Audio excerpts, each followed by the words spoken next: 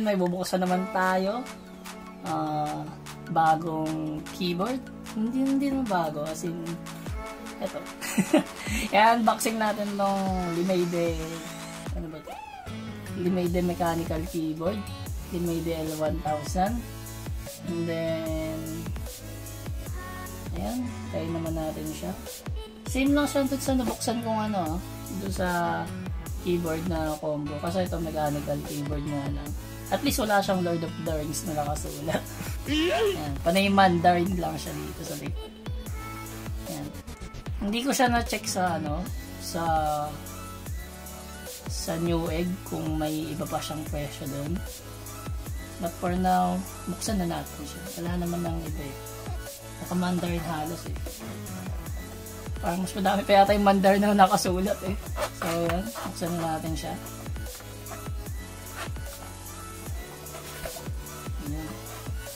Uh, sa, sa nakikita niyo naman mga katakay, no, yung nakuha kong keyboard is, uy, so, ayun, yung sa nakuha nating keyboard is white yung variant niya. Bali, may natanggal tayong keys. Ayan. So, i-ano muna natin yung box. At least, Uh, take note mga kataki ha. Laging ingatan ng box. Mahalaga pa rin. In case. In case kung mayaman so,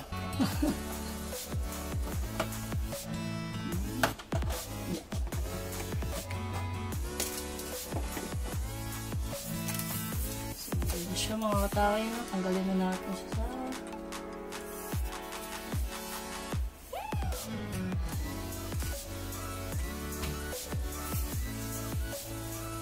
yun mga kataki. Ito yung cable niya. Yung maangas-angas to. so, yun. Turn off. Check muna natin siya. Ito may natanggal ako dito isa. So, yung ano niya is Timo Blue. Yung key niya. So, makikita nyo naman. Tanggalin ko ba lahat? So, yan.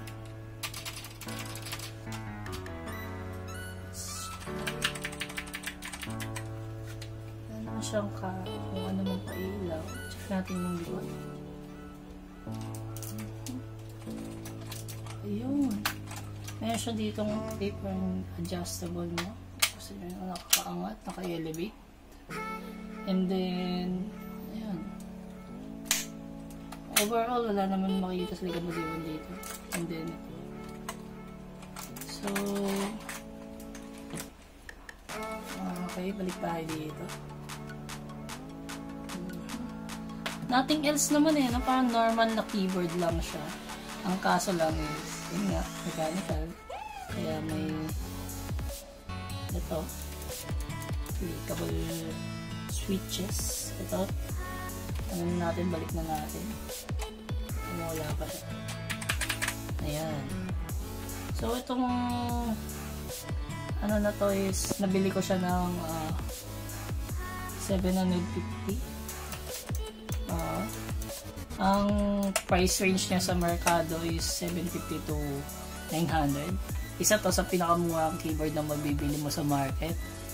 At uh, try naman natin kung ano man pailaw ang pwede natin gawin sa kanya. Or any function na pwede natin gawin pa sa kanya. Let's go!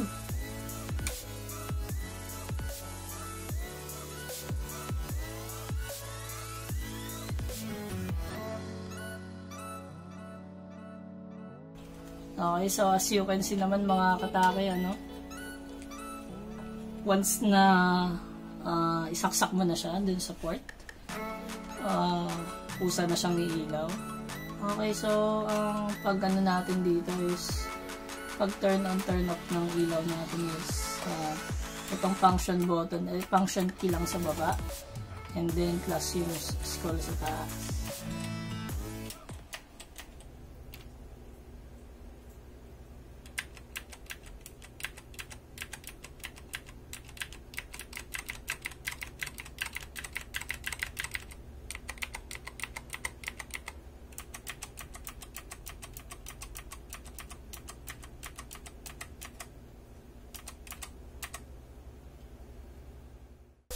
So, ito lang yung function na nagagawa niya. Uh, function plus itong arrow keys down. Pins na magde-decrease ng ilaw. Mapapansin naman na yan. Increase, decrease lang to ng ilaw. Up and down lang. Up and down na arrow keys. Kaso, hindi mo naman to magagamit basta-basta. Kasi,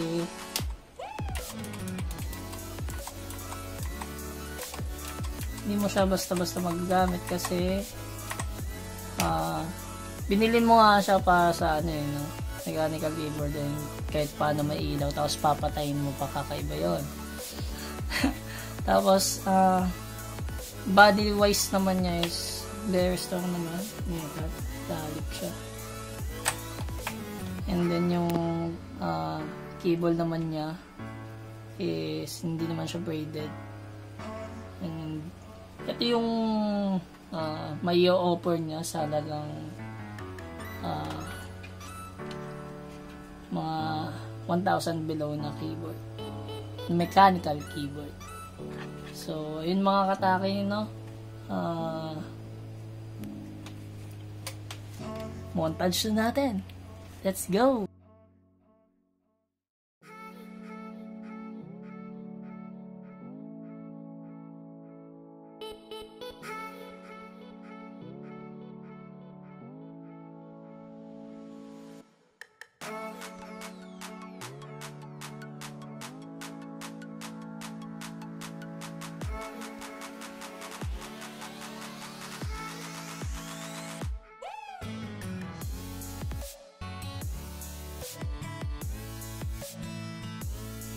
So, yun mga katangay, no? Nakita nyo na lahat. And, ito lang naman kasi talaga. And, wala pa naman akong mai-kukumpara sa keyboard na to sa iba. Oo, wala pa. Wala pa kasi ako nabubuksan. First time pa lang natin mag-unboxing ng mechanical keyboard and then uh, yung Pantec kasi na nabuksan natin na major na may kamahalan din na nasa 1K plus yung version niya is not comparable sa keyboard na to eh. Wala lang tong mouse eh. Kaso, mas mal ano eh, mas malakas sa dalawa eh. Hindi ka lugi din dito eh. Hindi ka talaga lugi dito.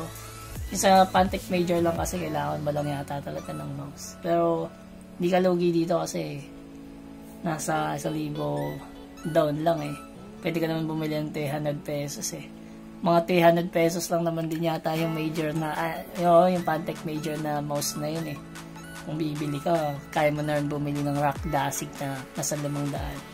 At kung payo na lang, ito na lang, uh, yun, kung kukumparahin sa ano, uh, practical wise, dito ka na lang, and then bumili ka na lang ng ano, ng mouse, which is kaya mo nang bumili ng RGB mouse sa halagang yun one third na presyo na yun. Medyo, medyo OP kasi presyo ng ano, ng Pantec Major.